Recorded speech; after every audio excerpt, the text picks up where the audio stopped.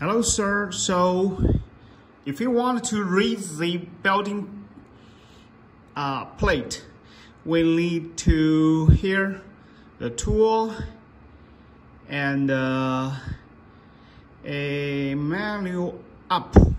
It says go home. We need to go up. So you just click up. It will it will go up.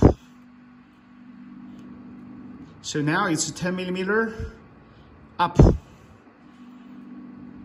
By this way, you can move the, the axis up and down.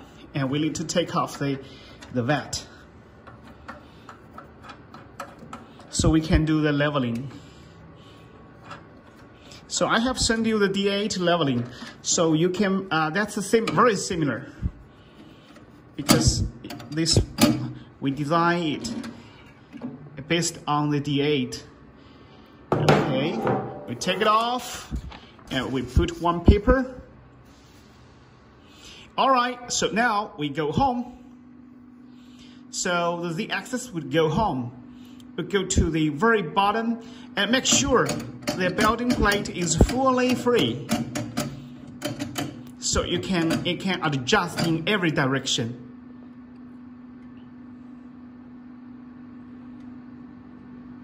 All right, so they, it stopped. So now you can you, you, you can you can drag the paper. It's very tight because it's uh, everywhere. It touch very well. And now you need to tie the the bolts. Each tie two bolts on the X on the opposite side. Opposite side. This one, this one, this one, this one. So okay. So let's two.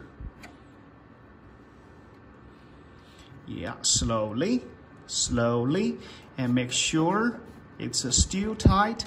If you feel it's not really even, so you need to readjust it. So, okay, tight, okay, tight, all right, and more tight, tight, tight, tight.